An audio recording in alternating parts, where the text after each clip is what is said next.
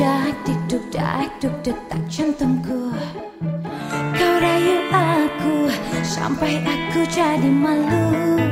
Tak hanya sebagai pasangan duet Syahrini juga sempat mengisi hati anak Hermansyah yang kala itu sedang kosong. Rencana untuk menikah pun sempat mewarnai pemberitaan tentang hubungan mereka.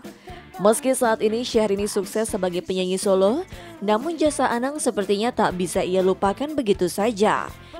Maka ketika keduanya bertemu dalam ajang Infotainment Award, Syahrini lebih dulu menegur Anang.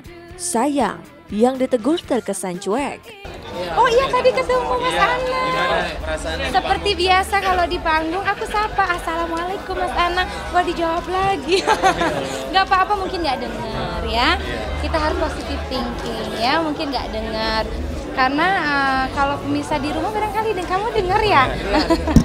yang penting namanya juga pernah uh, bekerja sama ya, masih buat aku pribadi sih siapa pun yang pernah bekerja sama sama aku ketemu siapa pun kalian atau di mana pun pasti aku sapa. Karena kan memang uh, tidak ada kejelekan ya secara personal gitu ya jadi aku tadi sapa karena ketemu banget begini masa nggak disapa ya kalau perkara dijawab atau tidak biarkan menjadi urusan masing-masing ya kalau aku maunya nyapa aja sama siapa pun tidak hanya sama Mas Oke okay? Ngedekin ya? Aku nggak tahu, nggak dengar. Nggak dengar malah kita.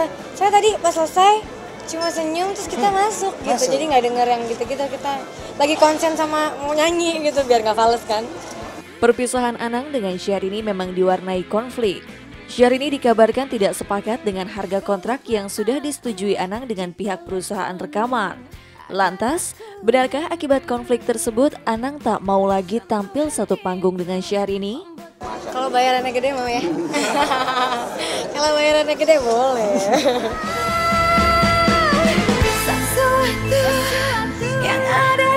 hatiku sesuatu yang ada di hatimu sesuatu